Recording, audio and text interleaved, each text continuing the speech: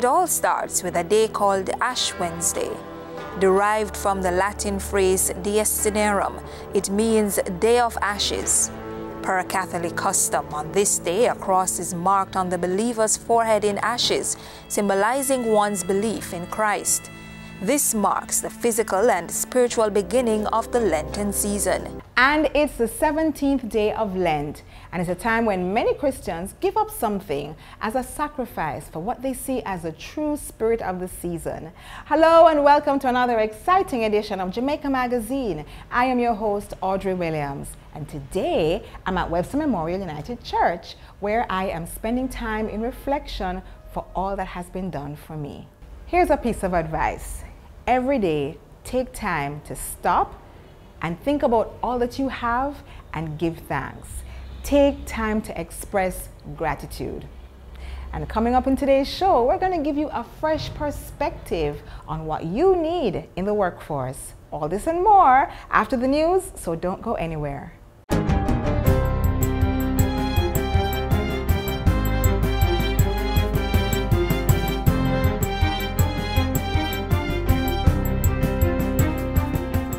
Good day, I'm Theodore Henry, and this is your JIS News for Friday, March 1, 2024. The final count of ballots in all electoral divisions for the local government election has now been completed. The results indicate that the Jamaica Labour Party, JLP, candidates have won the majority of the seats in seven parishes. St. Thomas, Portland, St. Ann, Trelawny, St. James, St. Elizabeth, and Clarendon. The People's National Party, PNP, meanwhile, has won five St. Mary, Hanover, Westmoreland, Manchester, and St. Catherine. The PNP also won the majority of the divisions and the position of mayor for the municipality of Portmore. The Electoral Office reports that Kingston and St. Andrew ended in a tie, with the PNP and the JLP winning 20 divisional seats each. Government has allocated funds for the construction of revetments in Buff Bay, Portland and Annotto Bay, St. Mary to protect the coastal towns from storm surges. The work will be done under the Enhancing the Resilience of the Agricultural Sector and Coastal Areas project. $441.5 million is budgeted in the 2024-2025 estimates of expenditure for the project. It is intended to strengthen coastal protection, improve land and water management for the agricultural sector, and build institutional capacity against climate change risks. The targets for the upcoming fiscal year include the installation of 118 meters of revetment at Buff Bay Site 2 and 300 meters at Annotto Bay Site 5. The project commenced in October 2012 and is slated to conclude in June 2025 after seven periods of extension. It is jointly funded by the Government of Jamaica and the Adaptation Fund. Another major allocation in the new national budget is $3.3 billion earmarked for interventions to combat preventable illnesses. This money is allocated for the Ministry of Health's Prevention and Care Management of Non-Communicable Diseases NCD's project. The amount provided in the 2024-2025 estimates of expenditure will target activities such as the organization and consolidation of the integrated health services networks. It will also cover anticipated expenditure on construction work to redevelop the Spanish Town Hospital, as well as the St. Jago Park, Greater Portmore, and Old Harbour Health Centres. Other anticipated targets include completing relocation activities at the May Pen and St. Ann's Bay Hospitals, St. Ann's Bay Health Centre, and Brown's Town Health Centre. The money will also facilitate the procurement of dental imaging equipment for the St. Jago, Greater Portmore, and St. Ann's Bay Health Centres. Spending from this allocation is also available to complete implementation of electronic health records in 12 facilities and start the fourth Jamaica Health and Lifestyle Survey. It will also fund the approval of a manual on chronic care model pathway and a policy framework for patient self-management. Labour and Social Security Minister Pernell Charles Jr. has welcomed funding in the amount of $5.7 million from the Canadian High Commission. The money is to assist persons living with disabilities. The minister gave an update during the recent closing out ceremony for the strategic engagement of rural women with disabilities in Sustainable Farming Techniques project. The Abilities Foundation and Canada Fund for Local Initiatives has partnered to execute this project where 50 persons have been trained and their lives transformed. We hope and urge you to continue to aim for success and to utilize your training not just for personal gain, but we expect that you will bring innovation and value to your community and to the agricultural sector in Jamaica. Minister Charles Jr. assured the participants that they had the government's full support, adding that every avenue for employment was open to them and all persons with disabilities. The 25 persons who participated in the second batch of the Sustainable Farming Project also received certificates and starter kits during the ceremony. And finally, a Women's Center of Jamaica Foundation WCJF facility for teenaged mothers is to be established in St. Catherine. Minister of Gender Olivia Grange made the announcement on Wednesday during the handing over ceremony for a wellness bench at the foundation's office in Kingston. It was donated by the Ministry of Health and Wellness. She says establishing a teen center in St. Catherine is critical as the foundation continues work to ensure that young women in that part of the island are able to access its services. St. Catherine is one of the fastest growing parishes in relation to population. One of the fastest growing in Jamaica. So today I'm announcing that we will be establishing another main center in the parish of St. Catherine to treat with the needs of our teenage mothers. The Women's Center of Jamaica Foundation is currently providing assistance to approximately 500 adolescent mothers across the island. One of its priority engagements, the Program for Adolescent Mothers, is aimed at assisting pregnant girls 17 and under to continue their secondary education. Under the program, girls who have dropped out of school due to pregnancy are allowed to continue their education at the nearest WCJF centers for at least one term and are subsequently returned to the formal school system after the birth of their babies. This center is among the most important organizations in Jamaica, operating in the interests of our young women, in particular, a number of our girls whose advance was paused by teenage pregnancy. We are proud of the record of assistance by the center, which has resulted in successful young women. For the last decade, the rate of repeat pregnancy remains below 2%. It means that the center is doing something good. And that's it for JIS News today. I'm Theodore Henry. Thanks for watching.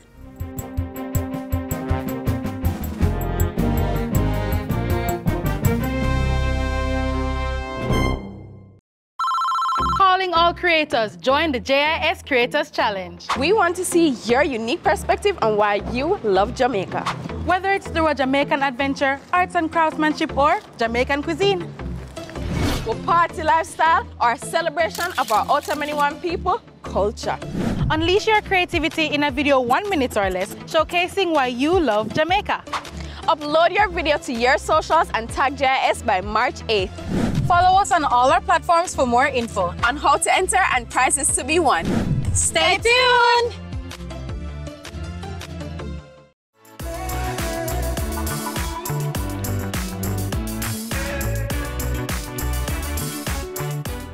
One thing you can be sure to give up this Lenten season is your expectations of others, particularly in the workplace. More on that in our upcoming series, He Says, She Says. Take a look.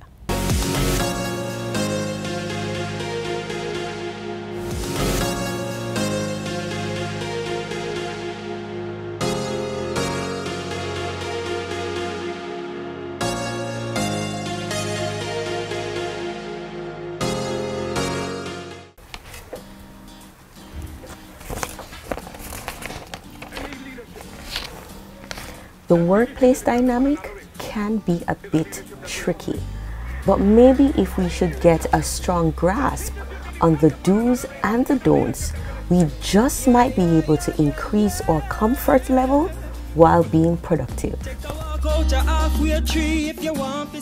It's time for another He Says, She Says conversation. Joining us today are Reverend David Grant, the lead pastor of the Jamaica Evangelistic Center and the founder and CEO of Odigia Global, a leadership and personal development organization. Ms. Geraldine Garwood, a clinical psychologist, behavior analyst, and adult educator, and the founder of Behavior Change Consulting Services, and business owner Adermi Mitchell. Welcome to the discussion. Thank you. Thank you. Our guests are here to provide some perspectives on everyday life situations we all want to talk about. Today, that's acceptable behavior in the workplace. I'm your host, Andre Palmer. Let's get right into it. Jamaica business culture is straightforward. It is centered around mutual respect, courtesy, and hard work, and you must dress for the job. But workplace indecency is a prevailing issue, as some employees have reported incidences of sexual harassment and discrimination. What could be the root cause of this? Well, we will break it down here. Some of the factors that may contribute to the incidences in the workplace is that of when persons work hard and they need to be promoted, sometimes that promotion comes with favors. Mm. And if the favor is not being granted, then the person cannot receive a promotion. And we, a lot of females tend to report that in some organizations that they would have been at a company for a period of time. They would have done all that is required. They would have exceeded the target given to them. And a lot of openings um, at the upper level is made available. But because they are under pressure to give in to sexual favors um, from a supervisor or a manager or somebody in a senior authority, then they experience what we would call discrimination right? Another thing that may happen is persons in the workplace who do not speak the Queen's English, mm. standard English, and, mm -hmm. and that has come to the fore too.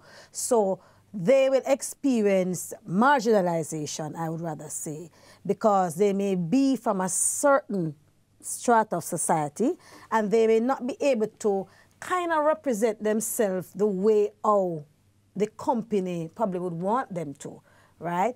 But and their background now plays into that and they are also marginalized or what you would say experience some level of discrimination, right? So a number of things can happen for persons experience discrimination and sexual harassment and how it is handled is very um, critical to any development of any institution. But couldn't that cause like affect the whole morale of the person. Like you are qualified for the job, you know the job inside out, you really like working for the company, but because of one little issue, you cannot get the work. Would that would that cause some level of discouragement among not only the staff that is that is that has been uh, marginalized, but other persons seeing that if you have a little issue, you will not be chosen, even if you're qualified? Yes, I, I, I do believe so because I've seen it happen. I've seen it happen. And um, we have to remember that we're always in community. No matter how we try to isolate ourselves, mm. we're always in community. So that one particular person who is being marginalized will share with their co their co-workers. Mm -hmm. You know, and then it goes around because if it's a a female who feels marginalized, she's going to share with her female co-workers, probably even with her male co-workers too. But what the females are going to start to look within themselves and say, but, you know, but this is unfair. This is unfair. They now might drop their standard of work as well. Mm -hmm. Mm -hmm. Or one or two might improve their standard of work and be willing to offer. Mm. Adermi, as a business owner, my question to you is, would that affect your staff turnover, say uh, one of your employees are there for a long time, but they are look, overlooked, um, how would that affect you as a business owner, knowing that this, this may lead to the person leaving? Ah, that's, that's in, that, in that scenario, right? Mm -hmm. um, it's kind of it's kind of hard because then you, you kind of you don't want to just replace somebody that is that is that has been there with somebody great, somebody new, because then it's going to be hard on the business per se, because you're going to have to train them, um, coach them um, about the position and such forth. But mm -hmm. in terms of the, the, the harassment part of things in the workplace, um, I've seen it happen um, before where, where the guy is basically flirting with another co-worker, right? Instigating certain things to that co-worker, right? And I know it's not, it's not, it's not it's, none of it is, is, is right, but you, you tend to have that within any workplace or any organization where somebody is always trying to instigate something with someone. But as you mentioned about the whole sexual harassment and seeing it in the workplace, how does that affect the work environment when that is frequent, even though it's, it, sometimes it may not seem obvious? But how do you think it affects the whole entire work environment? It can make the environment become hostile and it can also make it becomes very timid. So some persons be, can be afraid because it depends on the level you're at and how you value yourself. Some person will take the harassment because they have to think about the children to feed, the bills to pay, the rent, I mean utility bills, and so they can't really lose this job. Mm. So they will take the harassment, you know, and it makes them uncomfortable because it impacts them now mentally. They are not able to sleep, they are not eating well, you know, they, are, they go to work with that level of anxiety, that fear that this is going to happen. On the other hand, though, you have some persons that can become volatile. And the person who is doing the harassment can end up losing their life. My question that I want to ask now, do you think the age group of persons entering the workforce matter and how they adapt? Why or why not? Can I take this one? Sure. Sure.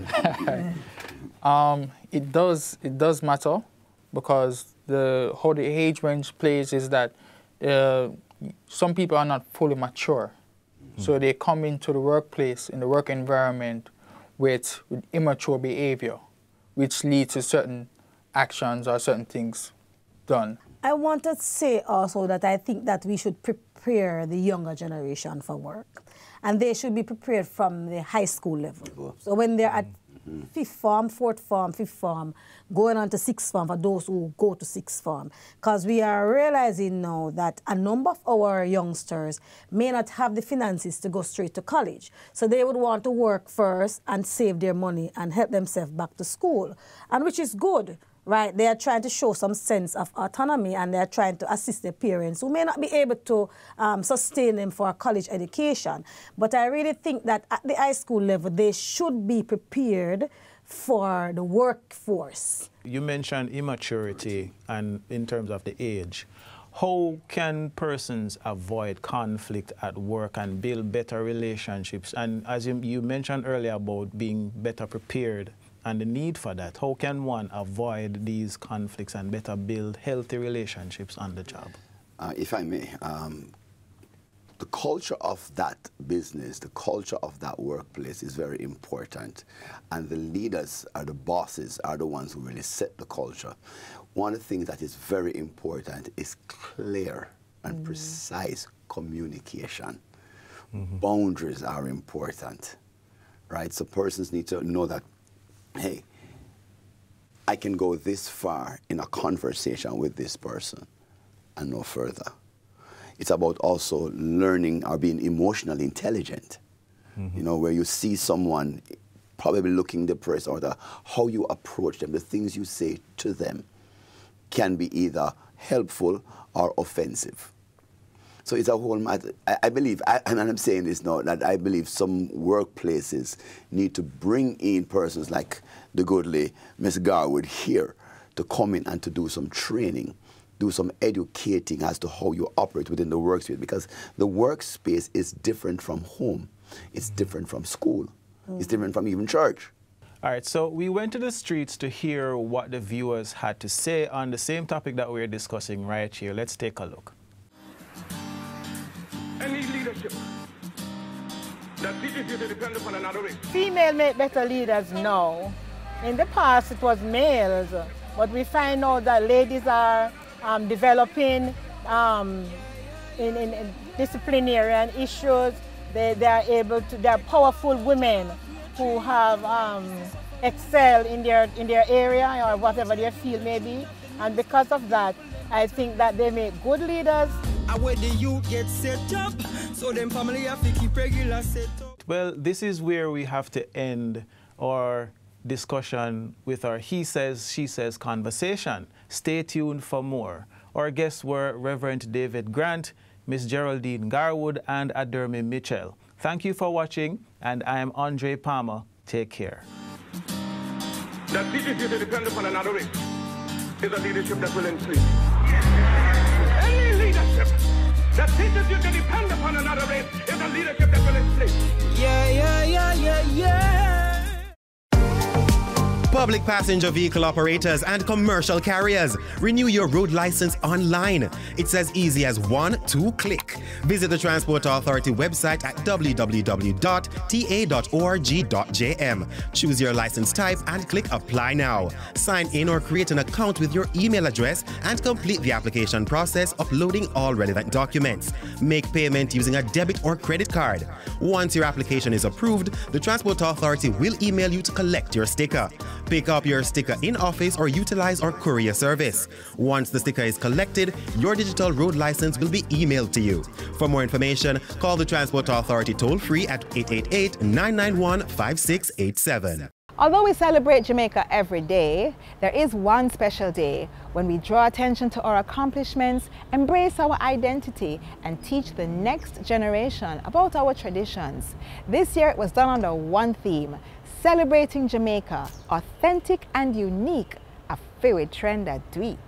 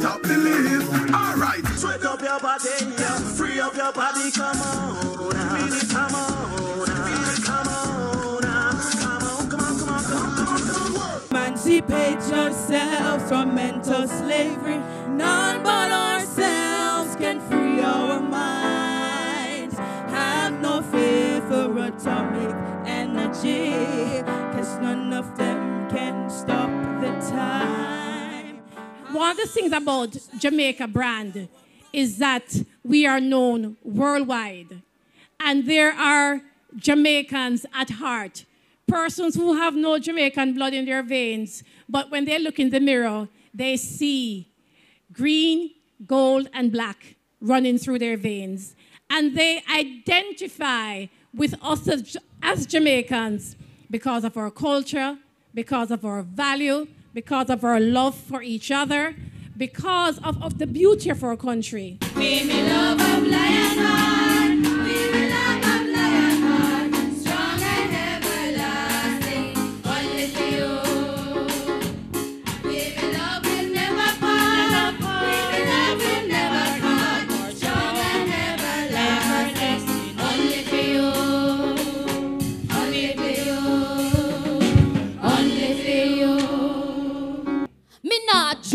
This is a problem. For your pagan or foreign, you start follow your friend. If you're powering there, you get be a boxing. Then you call the police, call it abusing. Mommy, what make you not allow me? You attack on my steer when I you grow me. You know hard me have to walk?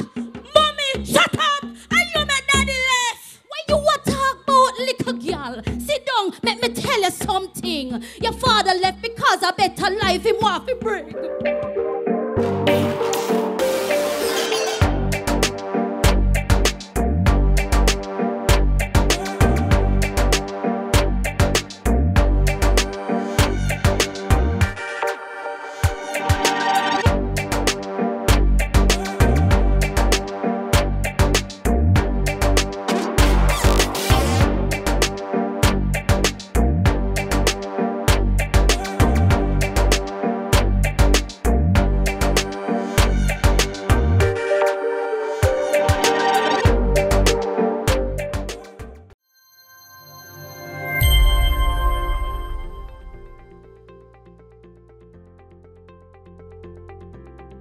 You see, what has happened is that, uh, you know, over the years, we have developed this idea that somehow procurement is only about one thing, which is, I mentioned it before, catching the, the bad guys and making sure that your name never gets called up for doing anything wrong.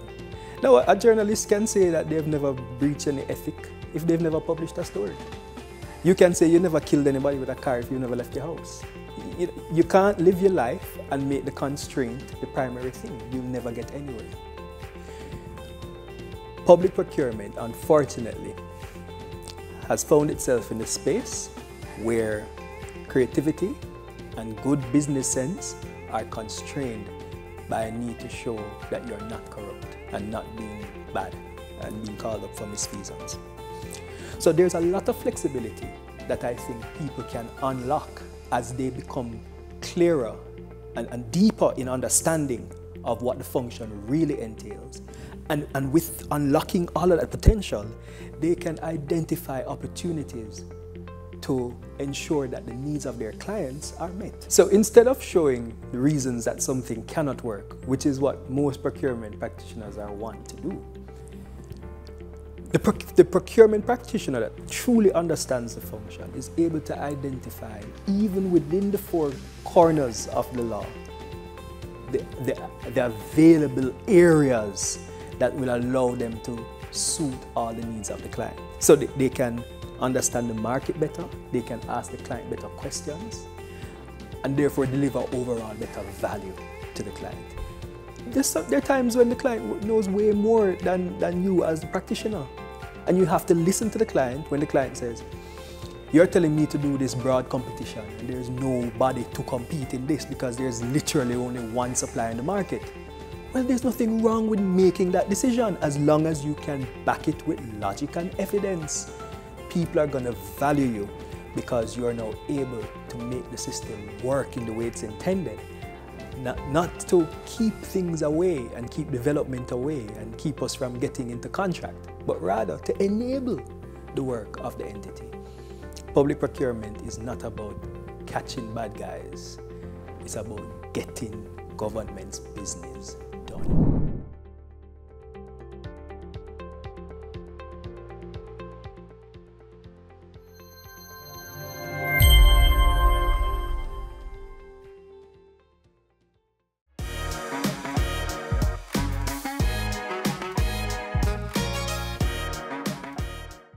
Come to the end of our program. Get a recap of everything you saw here and more on our website, jis.gov.jm. I'm Audrey Williams. Shalom. This has been a production of the Jamaica Information Service, the voice of Jamaica.